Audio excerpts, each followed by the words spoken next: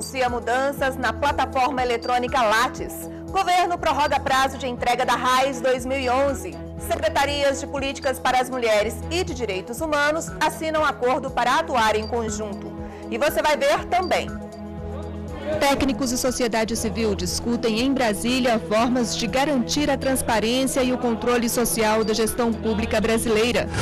O programa de Organização Produtiva das Mulheres Rurais auxilia agricultoras familiares em todo o país. O governo federal tem uma prioridade para este ano incentivar a comercialização do que é produzido no campo pelas trabalhadoras rurais.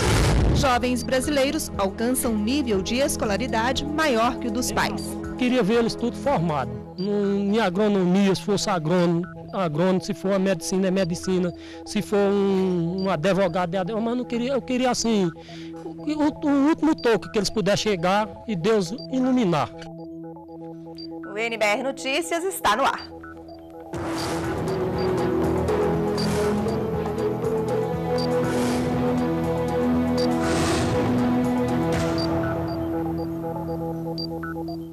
Boa noite. Técnicos e sociedade civil discutem em Brasília uma forma de garantir a transparência e o controle social da gestão pública. Reunidos no Centro de Convenções Ulisses Guimarães, os participantes definiram propostas que serão levadas para a edição nacional do encontro. Fortalecer instituições responsáveis pelo controle interno e externo. Criar políticas de transparência abertura de dados públicos e participação social nesse processo. São os pontos em discussão na última etapa de levantamento de propostas para a primeira Conferência Nacional sobre Transparência e Controle Social, a Consocial, marcada para maio deste ano. Até aqui, foram realizadas conferências regionais em todos os estados, como esta no Distrito Federal. Neste último encontro foram eleitos os delegados para o encontro nacional e escolhidas 20 propostas, algumas já em prática no governo da capital do país. A gente regulamentou né, o decreto do ficha limpa, né, então agora tem a, a, a vamos dizer, os critérios né, para ocupar os cargos de função aqui no governo do Distrito Federal e foi lançado dois grupos de trabalho. Um, e tudo com a participação da sociedade civil, isso que é importante, né? A gente está querendo trazer o, tempo todo a sociedade civil para os nossos trabalhos. Então seria um para regulamentar, né, ter um projeto de lei da, da Lei de Acesso à Informação aqui no Distrito Federal e outro para a criação do Conselho de Transparência também para os trabalhos do Distrito Federal. A Conferência Nacional é coordenada pela CGU, a Controladoria Geral da União, e deverá reunir cerca de 1.600 participantes. A maioria é de delegados representantes de todos os estados e do Distrito Federal. Na ocasião, vão ser aprovadas 80 de 540 propostas apresentadas. Um dos principais objetivos da conferência é chamar a população a participar mais de perto dos processos de controle e combate à corrupção dos poderes públicos. É o cidadão que está lá no município, ele está mais próximo dos problemas que ocorrem, é ele que é o principal beneficiário, portanto é um interessado direto, é ele que conhece a realidade e, portanto, pode nos dizer quais são as melhores maneiras com que o recurso público possa ser gasto e, evidentemente, controlado. As propostas que forem aprovadas em maio na Conferência Nacional vão resultar no Plano Nacional de Transparência e Controle Social. A CGU, Controladoria Geral da União, disponibilizou em, em formato eletrônico as cartilhas do programa Capacita. O programa deve fornecer a gestores públicos federais orientação e capacitação sobre questões relacionadas ao aprimoramento dos controles internos. As cartilhas podem ser acessadas no site da CGU. 11 órgãos do governo federal estão atuando no socorro e assistência às vítimas das enchentes no Acre. Geólogos do Ministério de Minas e Energia estão avaliando os riscos de desabamentos nas áreas atingidas pelas chuvas. O nível dos rios está baixando, mas a situação ainda é de alerta porque há previsão de chuvas nas próximas semanas. De acordo com o Ministério da Integração Nacional, as enchentes atingiram 143 mil pessoas em 10 cidades. O repórter Paulo La Sálvia conversou com o diretor do Centro Nacional de Gerenciamento de Riscos e Desastres sobre a situação no estado. Janeiro nós vimos acompanhando a situação lá no Acre uh, e nós vimos monitorando através do Centro Nacional de Gerenciamento de Riscos e Desastres com informações da ANDA, do INEMET, do CEMADEM, com diversas organizações. Ao observarmos que a situação uh, estava ficando muito crítica uh, e também com informações da Defesa Civil local, nós deslocamos para lá, o, a Defesa Civil se deslocou para lá e verificou qual era a demanda de apoio. A partir daí o governo ele desenvolveu uma grande ação lá uh, de, onde, de onde participaram cerca de 11 ministérios. Uh, então foi uma grande operação logística de apoio ao Estado do Acre, a pedido do Estado do Acre, e desenvolvida essa ação do governo federal coordenada pela Secretaria Nacional de Defesa Civil. Agora, as chuvas passaram, o volume do rio Acre está ba baixando. Qual, quais são as ações agora que o governo federal está desempenhando neste momento lá no Acre? Bom, as primeiras ações desempenhadas foram ações de resposta a desastres. Então foi, foram para lá o Exército Brasileiro, Força Aérea Brasileira, a, a Força Nacional de Saúde do SUS, a Força Nacional de Segurança Pública, a própria Defesa Civil, além de geólogos, CPRM várias outras instituições. Nós estávamos na fase de resposta ao desastre. Continuamos monitorando, porque naquela, naquela região uh, o rio ele sobe muito lentamente, desce e algum tempo ele volta a subir novamente. Então, além de monitorar a situação uh, já na possibilidade de uma nova cheia do rio, as ações agora de momento são voltadas para avaliação das necessidades de reconstrução. Muitas, muitas áreas elas foram, elas foram destruídas, algumas margens de rio elas solaparam, elas escorregaram e nós temos que agora verificar a situação e onde há necessidade de reconstruir, como, como reconstruir a situação. Quanto tempo esses técnicos do Ministério da Integração Nacional vão ficar lá no Acre monitorando as chuvas, monitorando a cheia do rio? o tempo que for necessário. Uh, inicialmente, a gente ainda como eu falei, estamos na fase de, de, de, socorro e resistência, iniciando a fase de reconstrução. A fase de reconstrução ela começa com avaliações uh, e ela prossegue por alguns meses até que cheguem bons projetos. Então, a equipe vai estar ou presente uh, em campo avaliando as necessidades, ou aqui na secretaria fazendo uh, as avaliações, avaliando os projetos e dando os encaminhamentos necessários para que esses projetos tenham, tenham andamento e nós cons consigamos reconstruir aquelas áreas, aquelas áreas afetadas de forma a levar a prevenção atenção àquela população. O Ministério do Trabalho prorrogou para até o dia 23 de março o prazo de entrega da RAIS 2011. Por conta de problemas no programa gerador da declaração, há uma lentidão na análise dos dados pelo SERPRO, que é responsável pelo recebimento e processamento das informações. Com a prorrogação, a expectativa é que todos os estabelecimentos tenham tempo hábil para enviar as declarações. A RAIS, a Relação Anual de Informações Sociais, é um registro administrativo. A declaração é obrigatória a todos os estabelecimentos no território nacional e deve ser feita pela internet. A presidenta Dilma Rousseff reafirmou hoje os agradecimentos ao ministro do Desenvolvimento Agrário, Afonso Florence. Em nota, a presidenta lembra que Florence participou de ações que fortaleceram a agricultura familiar e ajudaram a melhorar a vida de milhares de brasileiros. O afastamento do ministro foi confirmado ontem à noite pela Secretaria de Imprensa da Presidência da República. O deputado Pepe Vargas, do PT do Rio Grande do Sul, foi anunciado como substituto. O governo federal coloca à disposição das agricultoras familiares um conjunto de programas que visa a promoção da igualdade e o desenvolvimento no campo. É o caso do programa de aquisição de alimentos da agricultura familiar, que garante pelo menos 5% dos recursos anuais para as mulheres.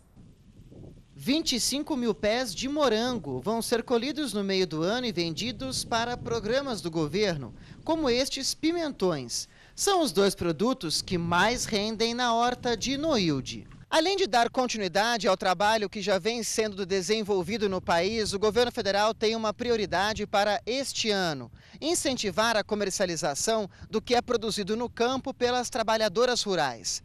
Nessa área, Dona Noilde já tem experiência. Nos últimos três anos, fez vendas para dois programas do governo: o Programa de Aquisição de Alimentos, o PAA, e o Programa Nacional de Alimentação Escolar. Dona Noilde, como que foram as vendas para estes programas do governo? Ah, para mim foi muito bom, né? Que deu para mim cobrir o empréstimo que eu fiz e é um dinheiro garantido, né? Que a gente vende e recebe. Foi assim nos últimos três anos. No espaço de 5 hectares, Noilde produziu 1.100 quilos de morango e 670 quilos de pimentão vendeu tudo para o governo e recebeu 15 mil reais.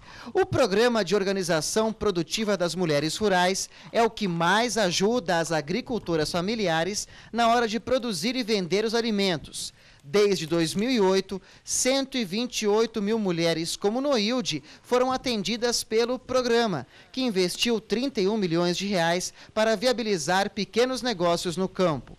Além da venda garantida, a agricultora se beneficia de outra ação do poder público, a assistência técnica. Ninguém consegue é, produzir sem uma assistência técnica, né? Não adianta ninguém falar eu sei que não sabe.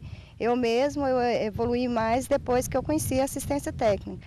E graças a Deus aqui, toda hora que eu preciso, eles estão sempre me apoiando, né, me dando a assistência que eu preciso no, no plantio, até o, o, o, jeito como a gente plantar, que a gente já está usando análise da terra, né, para a gente saber o que pode, o que não pode usar no solo. Eu acho que é bastante importante essa, essa área que a gente trabalha, é com assistência, o melhor passo é assistência técnica. Mais detalhes sobre os programas de apoio à agricultura estão disponíveis no site do MDA, o Ministério do Desenvolvimento Agrário. A Conab, Companhia Nacional de Abastecimento, prevê um aumento na produção de grãos no país. Os dados foram divulgados nessa semana. A produção brasileira de grãos do período 2011-2012 deve chegar a 157,8 milhões de toneladas, uma redução de 3,1% em relação à safra anterior. Os números são do sexto levantamento realizado pela Conab, mas na comparação com o último levantamento, houve um aumento de 0,5%, cerca de 744 mil toneladas. O acréscimo se deve à recuperação de parte da lavoura do milho. A soja e o milho, culturas de maior peso na produção, chegam a 83% de toda a safra, com um volume de 130,4 milhões de toneladas. A pesquisa da Conab foi realizada por cerca de 60 técnicos entre os dias 23 e 29 de fevereiro. Os jovens brasileiros têm alcançado um nível de escolaridade maior que o dos pais. Segundo o governo, no ano passado, seis em cada dez trabalhadores tinham, no mínimo, 11 anos de estudo, 20% a mais que em 2003. Com maior capacitação, aumentam também a produtividade, a renda e a qualidade de vida dos brasileiros. Agílio começou desde cedo a trabalhar na lavoura. Conta que aprendeu a ler e a escrever o nome com o pai, porque ir à escola no interior do Ceará, onde morava, era tarefa difícil e acabou cursando só até a quarta série. O filho dele, Israel, também ajuda na lida diária desde pequeno, mas com uma diferença. Aos 17 anos de idade, já está terminando o curso técnico de agropecuária e planeja entrar na faculdade. O futuro eu pretendo me ingressar na faculdade de agronomia e ajudar meus pais. Quanto mais qualificação você tiver quanto ao estudo, mais chance você tem de adquirir por conta das novas tecnologias que estão tá saindo. Se você não tiver uma qualificação bem adequada, você não vai poder operar uma máquina das convencionais. Para mim, quando ele fala isso aí, eu fico mais alto que uma casa dessa. Eu fico, a Maria, não tem nem orgulho. Acho que eu, eu vou para o céu, tão satisfeito que eu vou. A história dessas duas gerações reflete o momento pelo qual o Brasil passa hoje. De acordo com o Ministério da Fazenda, em 2011, seis em cada dez trabalhadores brasileiros tinham 11 anos ou mais de estudo. Em 2003, eram apenas quatro em cada dez. Com o aumento da escolaridade e da capacitação da força de trabalho, cresce também a produtividade do país e melhora a renda da população. Uma maior produtividade significa que a quantidade de bens e serviços que uma pessoa produz é cada vez maior. E no longo prazo, o diferencial de desenvolvimento de um país em termos econômicos é basicamente um diferencial de produtividade. E um, uma das variáveis-chave para explicar esse diferencial de produtividade e educação. O último censo da educação básica mostra que o número de vagas no ensino profissionalizante também passou de 565 mil em 2002 para 924 mil em 2010, o que para o professor pode significar uma transformação estrutural no país nos próximos anos. Na medida em que você tem uma população mais educada, os próprios filhos dessas pessoas vão ter um nível de educação este, superior, inclusive a qualidade de vida em termos de saúde, de bem-estar desses filhos, dessas próximas gerações vão ser maior. Qual que é o seu sonho assim para o seu filho, para os seus filhos no futuro? Oh, para todos. Assim, eu queria ver eles tudo formado. Em agronomia, se fosse agrônomo, agrônomo, se for a medicina, é medicina, se for um, um advogado, é advogado, mas não queria, eu queria assim, o, o último toque que eles puderem chegar e Deus iluminar. O CNPq, Conselho Nacional de Desenvolvimento Científico e Tecnológico, vai acrescentar na plataforma eletrônica Lattes, que traz currículos e atividades de 1 milhão e 800 mil pesquisadores de todo o país, duas novas abas para divulgação pública. Em uma delas, os cientistas vão informar sobre a inovação de seus projetos e pesquisas. E na outra, deverão descrever iniciativas de divulgação e de educação científica. A mudança deve ocorrer em até dois meses.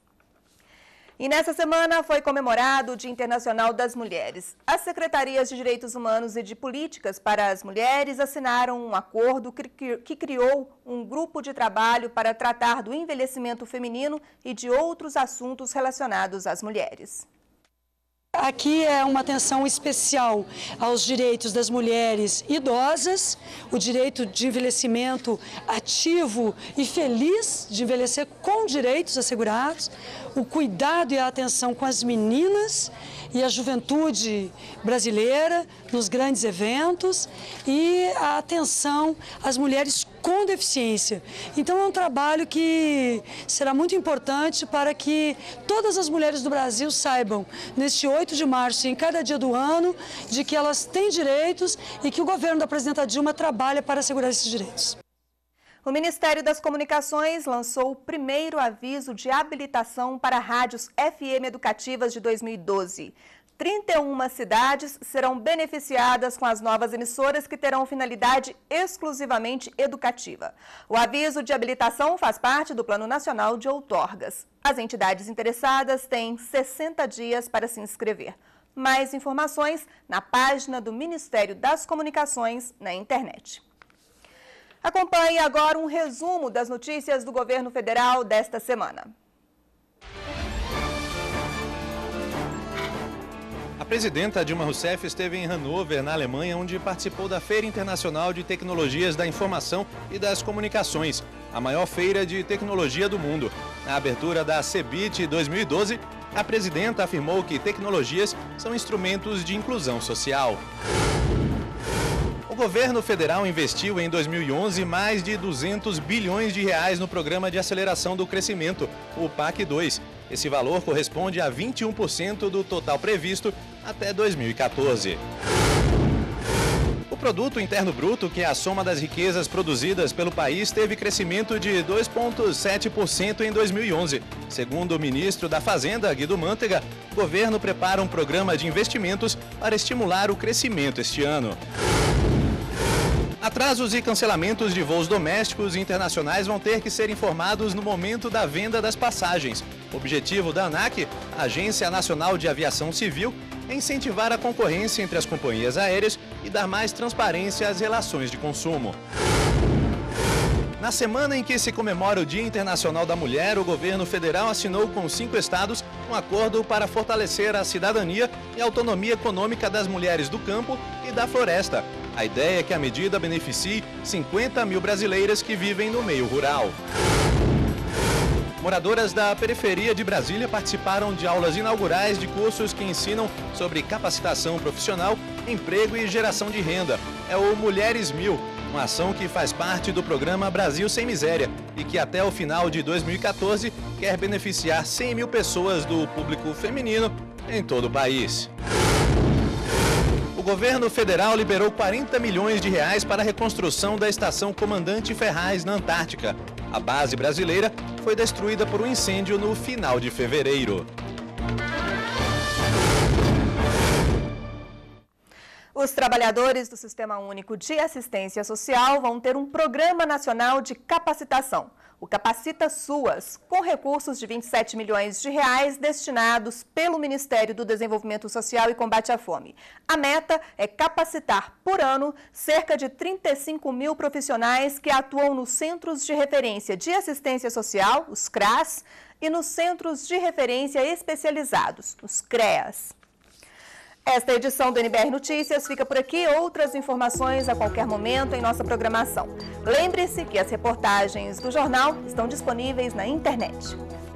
Uma boa noite para você, um ótimo domingo e continue com a gente, NBR, a TV do Governo Federal.